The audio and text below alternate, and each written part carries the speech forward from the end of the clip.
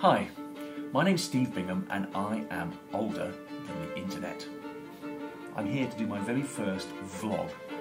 But why? Why am I here? Well, it's really because of these guys. Thank you for watching Slomozovo and being one of my 100,000 subscribers. Are you mad? He's prodding me with a large mixing bowl of shredded cabbage and I'm tripping and falling as I try to keep my potatoes a light golden brown.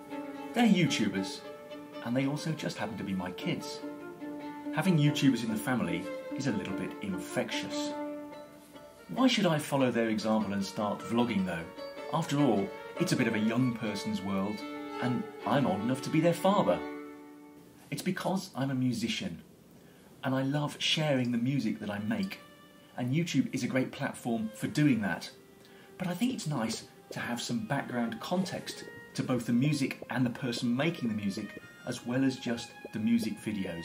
This year, I'm going to be making some seriously fun videos alongside iTunes downloads of both original music and covers with some great guest artists. I hope you'll follow me along the journey. And it's already been quite a journey to this point. I started playing when I was seven, and now I'm not seven anymore, but I'm still playing. I play violin and electric violin, and I love technology. So I use a laptop and I do live looping, I use effects boxes and pedals. It's great fun. Having my kids making videos all the time has brought home to me how recent all this stuff, the internet, YouTube, video games, really is. The first home computer I used was in 1983 and it was a Commodore 64. It had a massive 64K of memory. Yep, that is approximately 600,000 times less memory than my current iPhone. A little later, I bought my very own Sinclair ZX Spectrum. This had 48k of memory. Programs, apps, were loaded from tape, could take about 5 minutes to load if in fact they loaded at all. But it was a fantastic little machine. Later, I had my first laptop, which had two floppy drives but no hard disk. And my first desktop unit was a Sanyo machine which had a staggering 10 megabyte internal hard disk and a 5 and a quarter inch floppy drive. My first handheld computer was a Psion 2.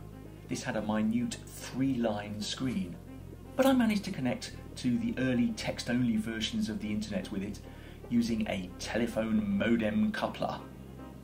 Wow. Wild technology, eh? Of course, all that stuff's antique now but I loved it at the time just as much as I love discovering new technology today. And because I blend it into my music making, it's become an indispensable part of my everyday life. So, thanks to Jenny and Chris, that's my first vlog. If you've got ideas for music you think I should be doing violin versions of, then please put them in the comments.